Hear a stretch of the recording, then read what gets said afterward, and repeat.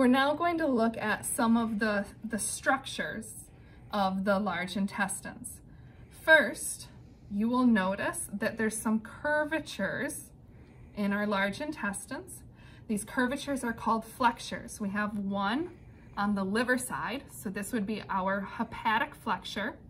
And then we have one on our spleen side, so we call this the splenic flexure. I'm going to reflect my transverse colon back so that we can now see some other modifications here. We see these little sacs of fat attached to our colon. These are called epiploic appendages.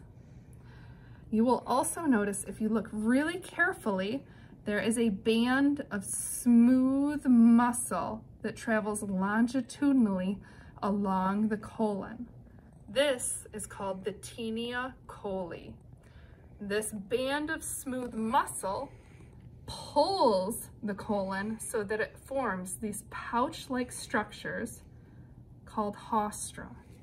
You might also see them in this plastinated specimen where we can clearly see the taenia coli creating these pouch-like haustra.